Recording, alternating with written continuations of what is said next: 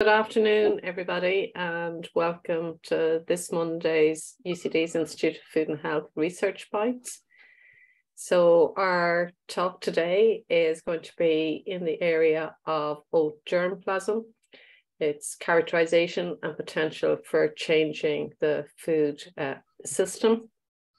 So we have um, McCabe is going to give uh, his presentation today. And just by way of background, um, where he grew up is very relevant to his talk, uh, having grown up on a tillage farm in Meath. He then did his PhD in oat agronomy and genetics at the UCD Lyons Farm. And just recently, he has been appointed as a lecturer in crop science in UCD. He's going to talk to us today about some of his work um, that he did as a postdoc on a healthy oats project so this is a large collaborative project. It's led by Professor Fiona Doohan in UCD and uh, UCD is working in collaboration with Swansea University and Aberystwyth in Wales. The key aims of the project are to identify agronomic and nutritional traits in heritage and diverse oat varieties that will contribute to climatic, nutritional, and agronomic sustainability as production systems change in the future. So uh, Cathal's going to talk to us um, about his specific interest in this project, which is on the phenotyping, the nutritional and the grain milling quality. So over to you, the floor is yours, Cathal. Thanks, Dolores. I presume everyone can hear me there pretty well. Just, just yeah. All good. Yeah, so, anyway, yeah. Yeah, brilliant. Yeah. Yeah, so Dolores pretty much covered what I what the Healthy Oats project is fairly well there. And I suppose the angle that I've taken on it today, in terms of this presentation, is to really focus on the diversity that exists and that whole idea of why that diversity is important, and then how we're going about characterizing it in terms of looking at what we have, how that looks in terms of its grain quality, in terms of its yield, in terms of its field performance, then the potential to bring some of these varieties back in or certain aspects of these varieties back into current plant breeding or even into current production in order to, I suppose, in order to mitigate some of the challenges that are coming down the road at us in terms of growing crops in Ireland, okay? So Dolores covered some of this there in her introduction, but what the Healthy Oat project is essentially, it's an EU funded initiative by the it's kind of it's interreg funding between Ireland and Wales. And the key focus of the project is really on optimizing oat production systems and also the role that oats can play in, in human nutrition. But really, how this whole research project is framed, really, in terms of my part of it, which was agronomic field trials and mitigating climate change, it's all really framed by the farm to fork strategy are the changes that are proposed under the farm to fork strategy. So there's this big target here, which is a 50% reduction in pesticide inputs, which in itself is quite a challenge in an Irish climate. We're also talking about reducing nutrient losses by up to 50%. What's more important within that, it's the 50% nutrient losses, but it is actually a 20% reduction in how much fertilizer we're going to be able to use. And in terms of what's relevant to, to crop production, I should say, there is this forecasted or desired increase the area of organic organic production in Ireland and in the EU as well. And you'd actually find what we found in this project is there's that there's been a lot of engagement. There's actually a photo in this presentation in relation to it. We've had a lot of engagement from organic farmers. And the reason for that is that if you're in organic production, depending what part of the country you're in, organic oats is actually really the most profitable enterprise you can you can you can put on that farm you're talking about price premiums of maybe 60 or 70 euro above the price of wheat, which in the last year was a pretty lucrative market to be in. And yeah, so in the context of the EU Green Deal, as I mentioned there, there is guideline reductions of 20% in terms of our nutrients, in terms of the nutrients we're going to be allowed to apply, and 50% in terms of pesticides. And what we're trying to do in healthy oats is by looking at how much diversity there is within the oat population for different traits, try to see can we bring back some of these traits in to help us to manage some of these reductions or to manage a scenario where we've got reduced options available to us in terms of pest control. And yeah, in terms of then the human health aspect of it, which is more to another work package, but there is a certain element of it that I cover. So there is this famous and really important verification that oats are very heavily linked with improved human health. And oats do contain the highest levels of protein and oils most cereal crops. But what's particularly relevant, I suppose, in plant breeding over the past 30 years, maybe, or 40 years, is that there's been this big focus on improved grain yield. So even on the Irish recommended list at the moment, if you're going to put a variety into trial, the number one trait of key importance is yield. So you might have a variety that's very, very good on almost every trait, like protein and oil, beta glucan, things like that. But if it doesn't make the bar on yield, or if it's not making an average yield, then it's not continued any further. So what's happened over time is that there's been less of a focus on specific aspects of grain quality. And instead, there's been this massive interest in improving grain yield, often to the detriment of the other important characteristics. What we're trying to do in healthy oats is again to go back in time, so to speak, and try and look at varieties from a different era that might be able, that might, I suppose, act as reservoirs of certain genes for current day plant breeding and and it's helping us to manage some of the changes that are coming at us. So in terms of what kind of germplasm is, so germplasm is a very scientific word that I don't particularly like myself a lot of the time, but essentially what germplasm is, is it's just variation, or it's just seeds, it's just variation in different seeds. So you see there, that's actually a photo in the background from the trial we had in Lyons last year. And if I can draw your attention to some of it, you'll see over here, we've got what's actually a black oat. You can see the growth themselves are black.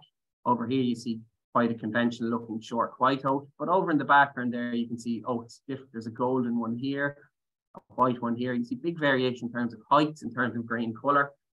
They're kind of the more physical, simple differences you can look at. But then when you go further, you see these big differences in terms of grain proteins, disease resistance, and things like that. So there is a lot of variation that exists in populations and trying to identify certain aspects or certain traits in different varieties that we can use as a key focus of the project. So a quick introduction to what we're working with. So in UCD, there was a collection of 190 varieties assembled, and these varieties were assembled from seed banks and from reservoirs all over the world, essentially, mainly Europe. You'll see it in a, in a minute on a different slide, but it's mainly North or Western Europe, Northern Europe, where oats are predominantly grown. There's a couple of varieties from the USA as well. There's also 56 varieties from a Welsh collection in Aberystwyth, or the Institute of Biological, Environmental and Rural Sciences in in Wales, they're a key collaborator on the project. And these varieties are from a very wide are from a very wide genetic background. And there's a huge amount of phenotypic and gene- genetic diversity within the population.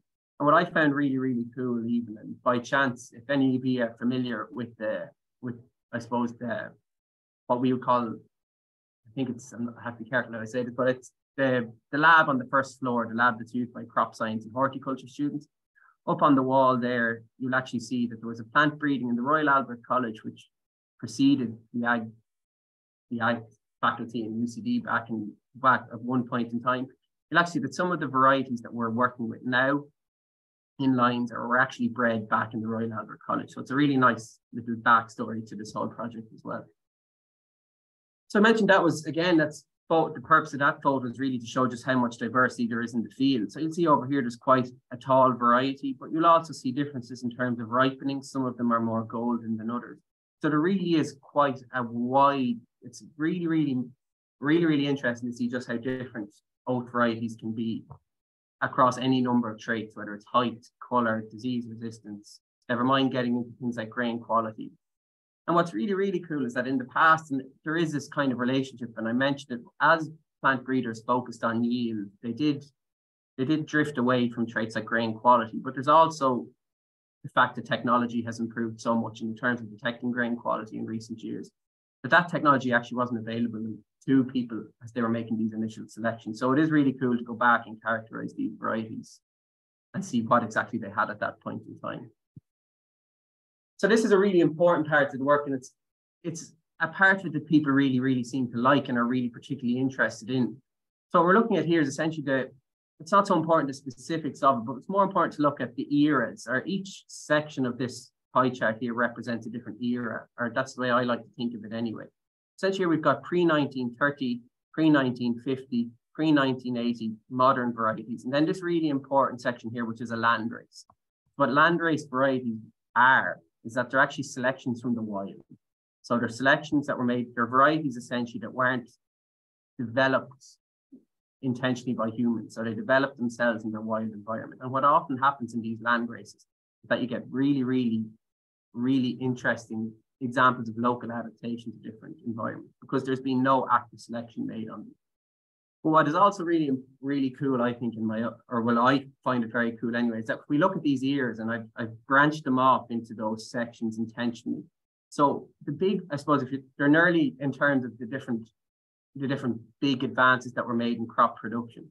So pre 1930, these were varieties that I suppose were selected for a period where artificial inputs like fertilizers, fertilizers and pesticides and things like that weren't on the scene or they weren't invented. So these varieties were bred, bred to be grown in, a, in an environment where these pesticides and these fertilizers weren't actually available.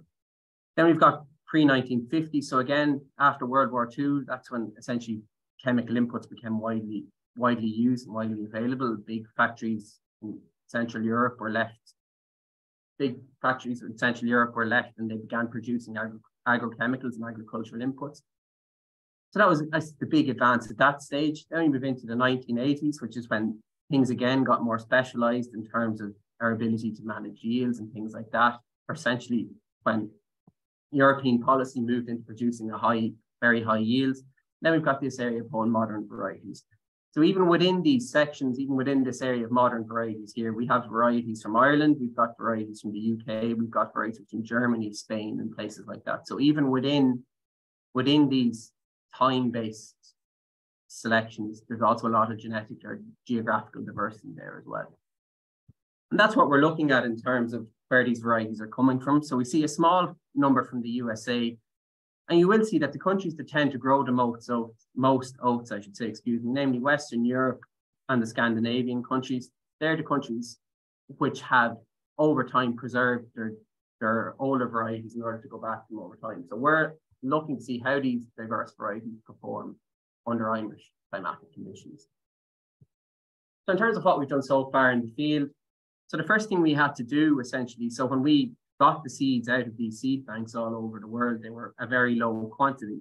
So what we actually had to do at the start of the project was we had to bulk these seeds up. So this involved us putting putting these trials, putting these seeds in the field in order to try and harvest the quantity of seed back in order to start doing larger field plots and things like that that actually gave us a really, really nice opportunity at that stage. So while we had the 190 varieties or the full UCD collection in the field at that stage, it actually allowed us to screen out some of the varieties we knew we weren't going to be interested in. Oats have this awful tendency because they tend to grow quite tall. And for people who aren't familiar with it, what happens is the oats will essentially fall over onto the ground and it makes it very, very difficult to harvest.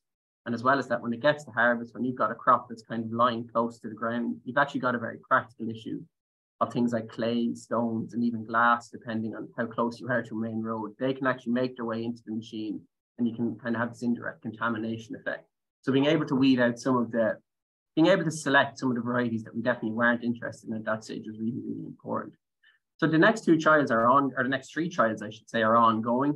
So we are doing this genetic characterization of the oat population. And so what this essentially involves is that we go out and we are currently evaluating all the different characteristics that we can evaluate. So plant height, grain quality, grain protein, kernel content, beta glucan, things like that.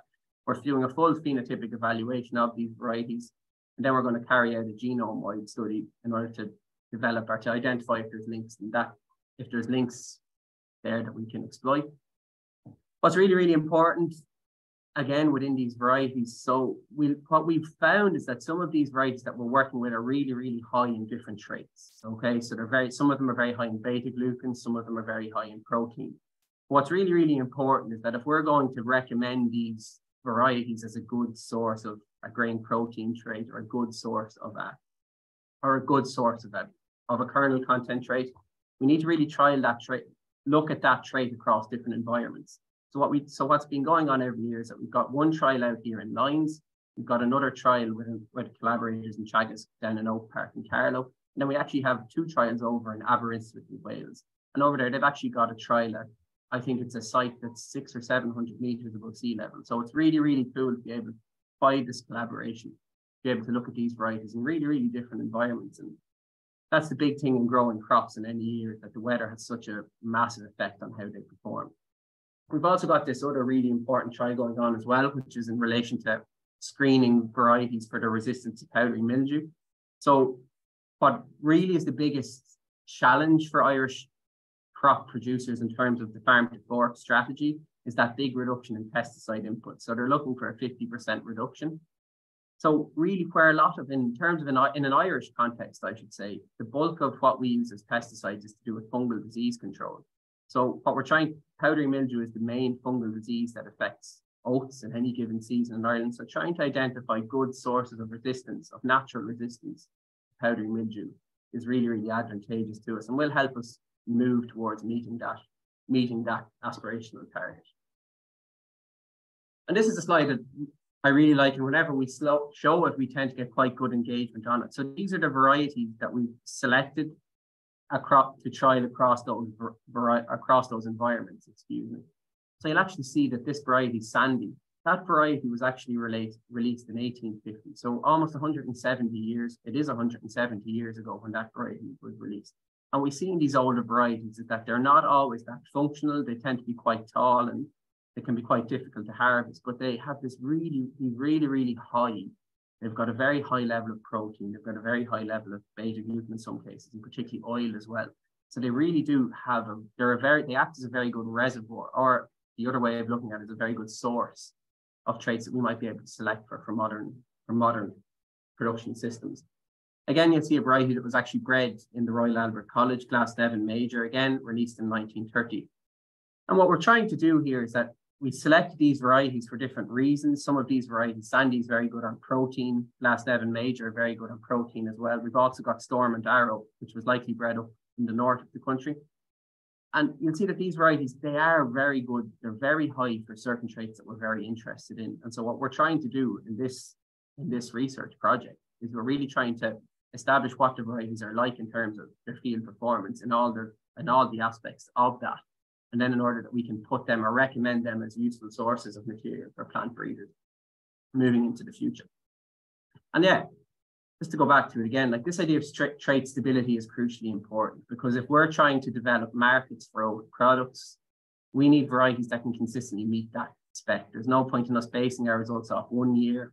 We're all very familiar with it, but there's no, it's very risky for us to base our results or base our recommendations off one trial in one field. It really needs to really needs to be able to perform consistently across a wide area. If you're going to recommend to millers or to companies interested in it, that this is a variety that's worth them taking a bet on, essentially. And then moving to these, so then moving into our grain yields. So I focused here on those varieties across that multi-location trial. And what I've highlighted in red is actually the control varieties. Okay. So they're the modern day control varieties that we grow in Ireland and Wales in any given year. So you'll see that generally speaking, the controlled varieties are yielding the highest. There is this other variety over here which yielded exceptionally well. This was in the, the UCD trial last year. It's not the mean of all the sites. I didn't couldn't get that data in time for today. But the key point of this slide is that these more modern varieties, they do tend to be higher yielding. Okay, that's due to selection over time. That was the key target. So when people were making decisions on how they were improving their own varieties, the key factor they were determined to improve with grain yield. Okay, and we see that coming through. Like the highest the control varieties here, Timpani, Timpani and Conway. And with the exception of this one over here, it's a coded variety. They do yield the highest. So modern varieties do tend to be much higher yielding than older varieties. And that that's true across not only the oats, but in terms of wheat, barley, rye, or any crop you look at, that's that's been the that's been the result of plant breeding essentially. Then in terms of kernel content, so kernel content is really, really important because oats is a little bit different than, than wheat or barley. And the reason for that is that oats actually have a husk. So they've actually got a shell. And in order to start making products with oats, in order to produce the porridge, there's actually a step, quite an intensive step between the field and your breakfast table, essentially. So there's a very intensive process that goes on that involves knocking the shells or knocking the inner valuable growth section out of the outer shell. And we see that while the modern varieties are relatively high. You don't see that same massive bias, I suppose, more the more modern varieties. There's the older material does compete with it quite successfully, and in many cases can actually be higher, even though statistically they're all quite similar there. But again, another really important one. So this is growth oil, or this is oil in terms of oats refers to fats, basically. But it's here is that the modern varieties, the, the, two that are really important in Ireland are actually Barra and Husky. they're the two varieties that we were, are the most widely grown. There's a new one after coming out in recent years called Isabel. I actually didn't have it in this trial this year. But you'll see that a lot of this older material. If we look at Sandy down here, it's the highest in the trial. So you see Sandy, that variety released in 1850. That variety has an oil content that's you know quite significantly higher than the two modern controlled varieties we're growing in Ireland at the moment. You also see certain other varieties, see Glasnevin Major, in the same range in terms of oil, just lower yielding. But the really important point is that some of these older varieties, while they do have issues in other ways, while they're not perfect and maybe we wouldn't grow them out in the field straight away this year, but they do have valuable genes that have been kind of left behind by modern selection that we can bring back in in order to try and improve, try and improve the, the overall nutritional profile of the varieties we're growing. Then in terms of protein, you see quite a dramatic shift. And this is this has been, and it's a widely known relationship in, in cereals, particularly in Ireland, that as yield increases of any crop, the grain protein content tends to be reduced as a result. What you actually see is that the varieties that were highest yielding, our controlled varieties, are actually the lowest in terms of grain protein. And again, we look at that these varieties. Stormont Arrow was released in 1938, got substantially 4% higher protein, more or less, than our modern varieties see the same with Sandy, same, same with Maldwin as well. So we see that these older varieties, while they aren't particularly high yielding, maybe in certain seasons, we do have this really, really high grain protein, really, really interesting nutritional characteristics that I suppose we're trying to exploit slightly in terms of market diversification and oats and things like that. And I mentioned there, so the other key part of the work, sorry, no, I didn't skip a slide. So the other key part of the of my work package in terms of healthy oats was this natural resistance to plant pathogens. Okay. So when we're talking about pesticide inputs in crops in Ireland, what generally the key, if I, I, I would guess there's no real figures on this and there's no real figures on it, but I would guess if I was to put a figure on it that 60 to 70% of the pesticides used in Ireland on a cereal crop are used to control fungal plant diseases. In extreme cases in wheat, for example, yield losses can be 30 to 40%, depending on what pathogen you're dealing with. So in oats, the key pathogen that we're targeting with fungicide applications is powdery mildew. And we are, our plant breeders are very familiar and farmers and agronomists are very familiar with this whole idea of natural resistance. What we've actually seen in recent years is that we might get one or two or three really good years out of a resistance gene. What happens then, I suppose, inevitably that that plant resistance gene breaks, it's no longer effective against the populations we're trying to control. And as a result, we're back to square one in terms, and again, we're back relying on our back relying on pesticides to solve our disease problems for us. So what we're trying to do, I suppose I like to think it's in quite a smart way, is that we're trying to predict how some of these origins might break down, might break down in the future. And how we're doing that is that I suppose we're trying to bring the natural variation in powdery mildew that exists in the field, we're trying to bring that into the glasshouse in order to see the powdery mildew resistance genes that we've identified in our overall population, see if they're effective against this whole range of isolates from different parts of the country. And yeah, so if I just talk you through some of the sites. So this is actually down in Waterford at the Seed Tech trial site, just outside Waterford City near Dunmore East. Then you've got an isolate from Oak Park in Carlow. We've got one from Lyons here in South Dublin, and we've got one from our home farm, my own home farm here in County Meath. And so what we're trying to do is that we assume that there is differences genetically between a powdery mildew from Waterford and a powdery mildew from County Meath. And we're trying to see through the resistance genes that we've identified are varieties that look like they're displaying resistance in the field. See does this, does this resistance perform the same against a wide range of isolates, okay? And what's really important to know is that even at a very basic level, and this is, well, it's not so much a basic level maybe, but how we started this was that we had two field trials with the overall oat population, those full 190 lines. And what we noticed was that in certain seasons, some varieties were highly resistant. They had no detectable symptoms of powdery mildew.